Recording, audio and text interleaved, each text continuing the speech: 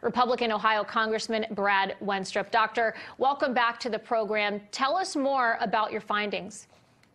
Well, it was interesting because the intelligence uh, community put out an updated assessment on origins of COVID, whether it's zoonotic, came from a wet market, came from the lab, but it was very, very inconclusive in my mind or incomplete.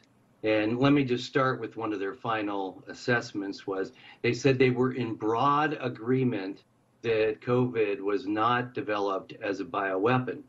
Well, that can be an opinion. One of the things that they left out, which normally you see in an intelligence report of some type, is their level of confidence in that assessment. For that particular assessment, they did not give a level of confidence as they did for the others, such as whether it came from the wet market, et cetera. But more importantly, we don't know who's making this assessment. I mean, really, for all we know, they talked to three dentists about this. I, we just don't know. And we've asked that question and we get no answer. And we want to know one, but what basis did you all come to this broad agreement?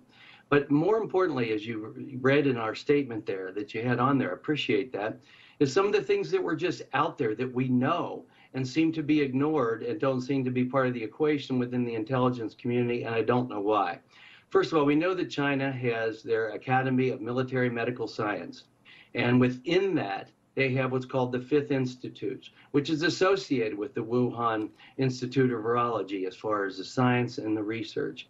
Even in 2005, our own State Department said that China is working on offensive bioweapons and they're doing research as such. In 2015, they actually, the Academy came out with a book questioning the natural findings and beginnings of the original SARS virus. But they also, the title of the book included human viruses as a genetic weapon. Also in 2015, it's published report between Ralph Baric in North Carolina and Dr. Shi Zhengli in China that they have developed a chimera, or where you take two viruses and take parts of one, put it on the other, and now you've created a new virus. And in many cases, with we call gain of function research, it would be to make it more infectious. In 2014, Dr. Fauci was was stating that he was for this type of research. I believe his theory was that if we can make a virus super infectious and create a vaccine, maybe there's nothing we can't stop if, if it were to arise in nature. I don't know. He needs to answer those types of questions. Yes.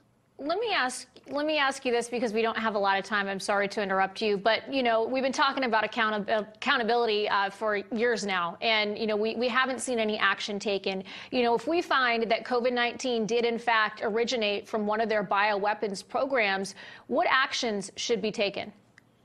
Well, I think there should be uh, world condemnation of it, but actually not only condemnation because, but we need to get to the honest portion of it. You know, was it just a lab leak? Was it intentional? Was it unintentional?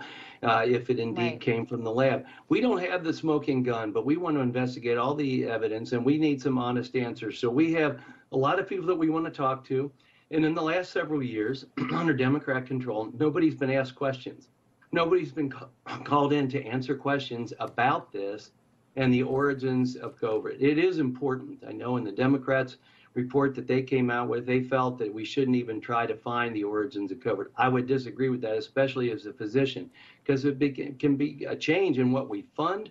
It can be a change in how lab security is carried out. It can be a change in early detection and treatment, and certainly our concerns for national security and national health security if this is indeed a bioweapon that they're carrying. Well, Congressman, we appreciate the work that you're doing. Uh, we'll continue to hold all of you in Washington accountable and look forward to having you back here uh, to update us on your findings. Congressman and Dr. Brad Wenstrup, thank you so much for joining us. Thank you.